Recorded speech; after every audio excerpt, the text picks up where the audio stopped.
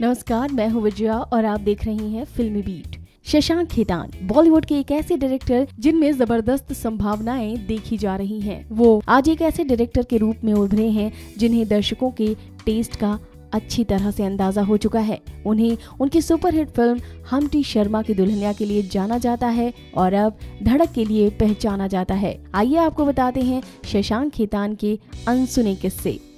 हमटी शर्मा की दुल्हनिया के डायरेक्टर शशांक की आज बॉलीवुड में एक खास पहचान है। शशांक खेतान का जन्म कोलकाता में हुआ था। उनका पूरा बचपन मुंबई में बीता। शशांक कभी भी फ़िल्म निर्देशक नहीं बनना चाहते थे क्योंकि उनका रुझान बचपन से ही क्रिकेट की ओर था। लेकिन 17 साल की उम्र में उन्होंने फिल्मी दुनिया में आने का प्लान बनाया। शशांक खेतान ने अपनी शुरुआती पढ़ाई मुंबई से कंप्लीट की। उन्होंने फ़िल्म में अपना करियर बनाने के लिए सुभाष गई का विशलिंग वुड्स फ़िल्म कॉलेज को ज्वाइन किया। यहाँ उन्होंने निर्देशन से जुड़ी कई तरह की तकनीक को अच्छी तरह से सीखा।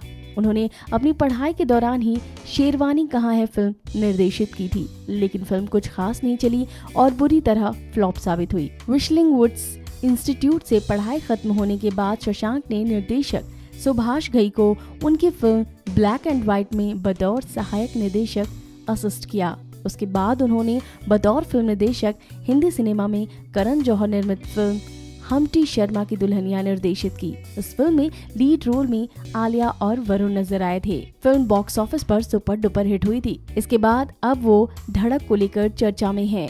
फ़िल्म धड़क का ख्याल कैसे आया, इस पर शशांक का कहना था कि उन्होंने जब सैराट देखी थी, उसी वक्त थिएटर से बाहर आने के बाद उन्होंने सोच लिया था कि वो इस फ़िल्म का रीमेक करेंगे और उन्होंने ये बात करण जौहर को बता दी थी। फ़िल्म को लेकर शशांक का कहना था कि वो नहीं चाहते कि जानवी की तुलना उनकी माँ श्रीदेवी से की जाए। उनका कहना था जब वो फ़िल्म रीमेक बनाने के बारे में सोच रहे थे तो उस वक्त उन्होंने ये नहीं सोचा था कि फ़िल्म में कौन से किरदार होंगे। उनका कहना था कि ईशान का नाम या जानवी का नाम उनके जहन में नहीं था, बल्कि ईशान के साथ तो वो किसी और फ़िल्म की तैयारी कर रहे थे। लेकिन ये एक संयोग ही था कि इस फ़िल्म में ये दोनों नज़र आ रहे हैं। उनका कहना है कि एक रीमेक बना ली और अब वो आगे रीमेक नहीं बनाएँगे। आपको जानकर हैरानी होगी कि शशांक की फ़िल्म हमटी शर्मा की दुल्हनिया, दिलवाले दुल्हनिया ले जाएँगा का ट्रिब्यूट था।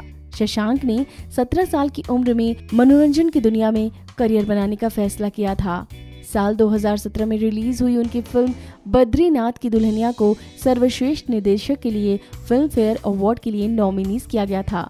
वो एक रियलिटी शो, डांस दीवाने में माधुरी दीक्षित और तुषार कालिया के साथ जज के तौर पर भी नज़र आए।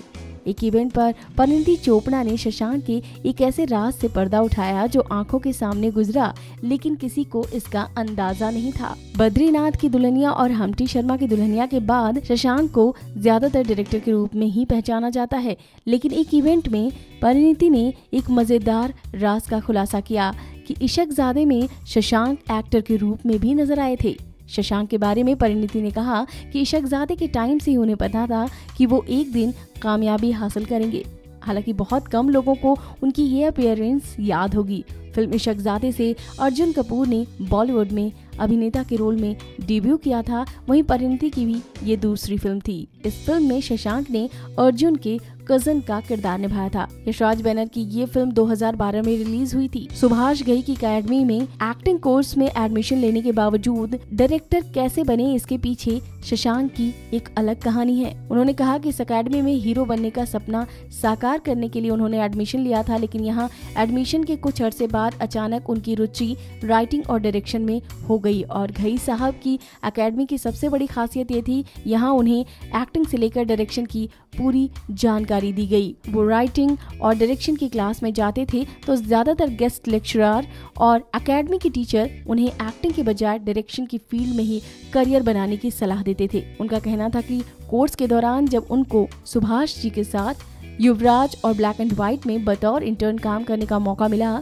तो घई साहब ने मुझे एक्टिंग छोड़ डायरेक्शन में जाने की सलाह दे दी थी। फिर मैंने डायरेक्शन में करियर बनाने का फैसला किया। हंटी शर्मा की दुल्हनिया बनाने का आइडिया कैसे आया, इस पर भी एक मज़ेदार कहानी है जो शशांक बताते हैं।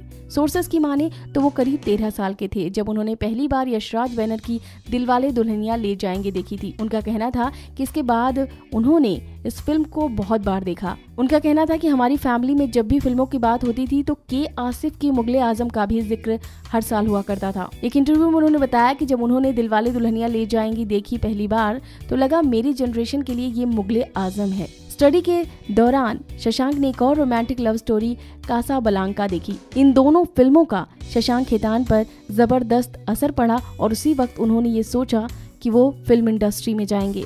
हालाँकि शशांक उस वक्त एक्टर बनना चाहते थे और सोचा कि करियर की शुरुआत रोमांटिक फ़िल्म से करेंगे और बतौर डायरेक्टर ही सही, उन्होंने लव स्टोरी बनाई जो सुपर हिट रही। तो ये थी शशांक की अनसुनी कहानियाँ। इस वीडियो में फ़िलहाल इतना ही।